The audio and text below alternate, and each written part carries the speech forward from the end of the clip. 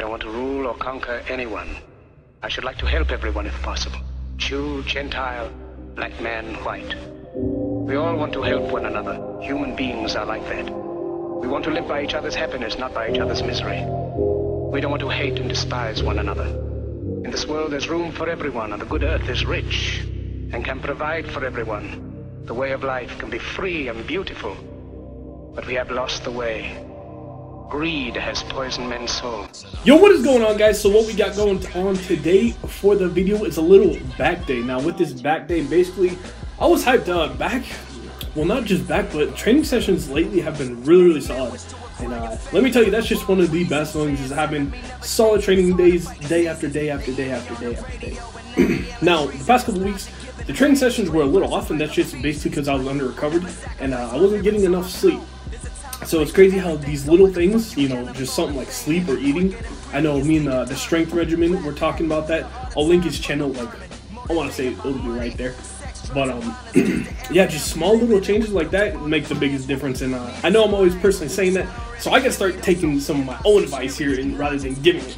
But, um, so we're just gonna try to be sleeping a little bit more, and uh, that seems to be helping out the sessions. So I'm hyped on that.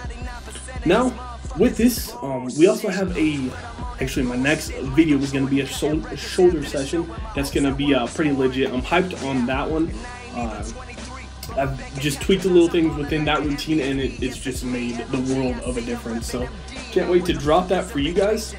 But um, with this training session, you know, with back, it's just nice because you can go heavy with a lot of reps just because there's so many different, you know, muscles within the back that, you know, that make up the back from the upper, middle, lower. It's just, uh, you can just throw in tons and tons and tons of reps and, uh, you know, you'll recover from back. So always keep that in mind. Don't be afraid to, you know, just destroy the back with, you know, a whole bunch of combination of sets and reps. So that's a quick tip. Um, after this training session, you know how we do. We got in a pretty calorically dense meal, so we got in some. It was a uh, piece of fried chicken with a full package of pasta. It was like, I think that comes out to like 1,600 calories just in the pasta and like 400 grams of carbs. It's something like that. It's pretty ridiculous, but you know what? That's how we do. And um, that was the video for the day, guys. Um, be on the lookout for that shoulder I cannot say that word to save my life.